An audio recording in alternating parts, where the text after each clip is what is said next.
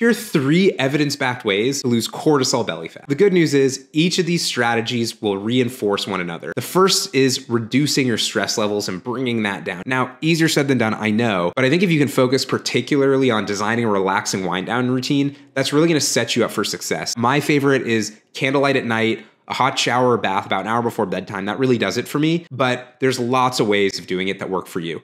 Second is prioritize getting enough sleep and not just enough sleep, but at the right time when you're not stressing out your body. Again, easier said than done, especially if you're stressed and there's a lot going on.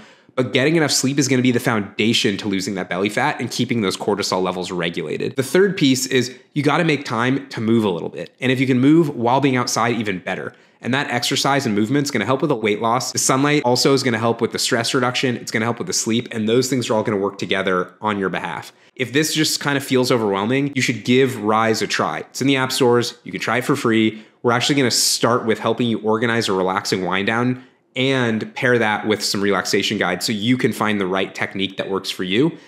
On the sleep side, the app is going to help you track if you're getting enough sleep and it's going to help you track if you're getting at the right time with something called a melatonin window that's unique to you. And lastly, the app is going to keep track of those workouts and show you when they happen, how it's impacting your energy levels, and what times you might want to be sleeping. So give it a shot. I can guarantee that losing that belly fat is going to be way easier if your stress levels are lower and you've got lower sleep debt.